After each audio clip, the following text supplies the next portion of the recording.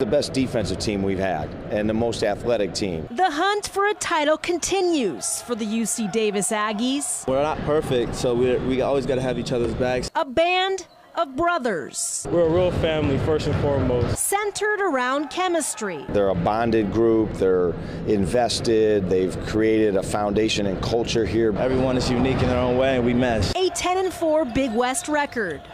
And perfect at home. We wanted to give our fans a, a good show. Feeding off a packed pavilion. You know, when you hear people cheering you on and encouraging you, you know, you got to play hard. It's basically like a six man. You know, the challenge for us is keeping that home streak alive, and we're in the hunt for a championship, so every game is paramount. It's a major moment for the program. Game by game, possession by possession, day by day. A conference championship within their grasp. In this league, every team can beat any team on any given night, so we're not looking for we're not looking past them at all. Focused on the task at hand while aiming for their hoop dreams. NCAA tournament for sure. We're trying to get into that field of uh, 68. Make a push at this NCAA tournament, make history. We have a chance to do it. It's pretty special, and I think that we really can.